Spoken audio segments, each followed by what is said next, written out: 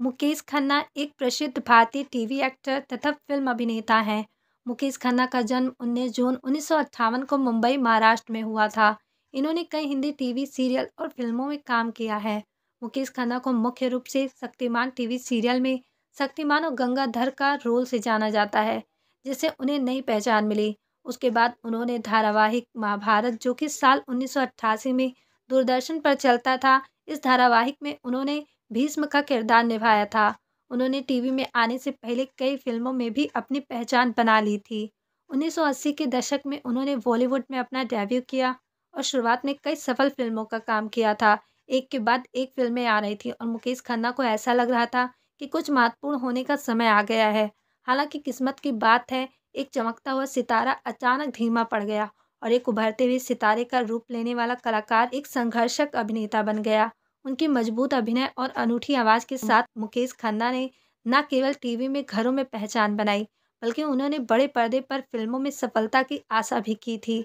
दुर्भाग्यवश वह सपना पूरा नहीं हुआ और उन्हें सुपरस्टार बनने से पहले ही एक फ्लॉप अभिनेता के रूप में जाना जाने लगा। हालाँकि फ़िल्मों की असफलता का सामना करने के बाद उन्होंने फ़िल्मों को अलविदा कह दिया और टीवी इंडस्ट्री में एक्टर और निर्माता के रूप में शानदार सफलता प्राप्त की। महाभारत के बाद ये सब बदल गया। इसके बाद लोगों से उन्हें खूब प्यार मिला। मुकेश नहीं चाहते थे भीष्म का रोल। मुकेश खन्ना ने बताया कि वो भीष्म का रोल नहीं करना चाहते थे। वो पहले अर्जुन, फिर कर्ण और दुर्योधन के किरदार की कोशिश में लगे थे। ये रोल पहले ही दूसरे एक्टर्स को मिल गए। बाद में उन्होंने भीष्म पितामह का रोल मिला और उन्हें इस किरदार के लिए हामी भर दी। मुकेश को ऑडिशन से पहले अर्जुन, कर्ण, कृष्ण या भीष्म में से कोई रोल देने के लिए कहा गया था।